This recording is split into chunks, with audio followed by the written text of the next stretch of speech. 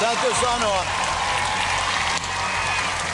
Ari, täytyy sanoa, että tota, niin, niin, sen takia on naasta kuulla sun vetävän näitä hitaampia biisejä, hidastemposempia biisejä.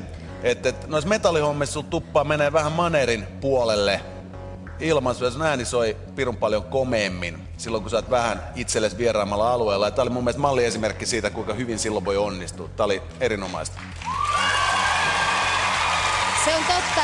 Jos vertaa viime viikkoiseen, niin tällä viikolla tämä biisin veto on enemmän tasapainossa siinä. Nyt ne kaikki osaset loksahtaa enemmän paikalleen. Se vähäeleinen esiintyminen, mikä sulla oli nyt, sopi erittäin hyvin tähän kappaleeseen.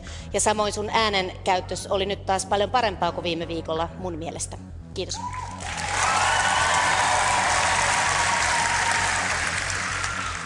Ari, nämä on hienoja hetkiä.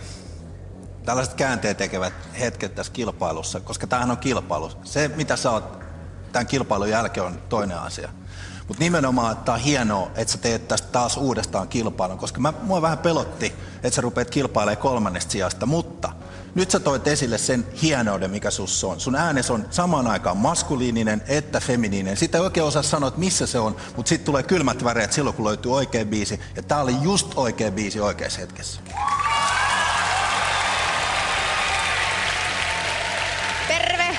Terve!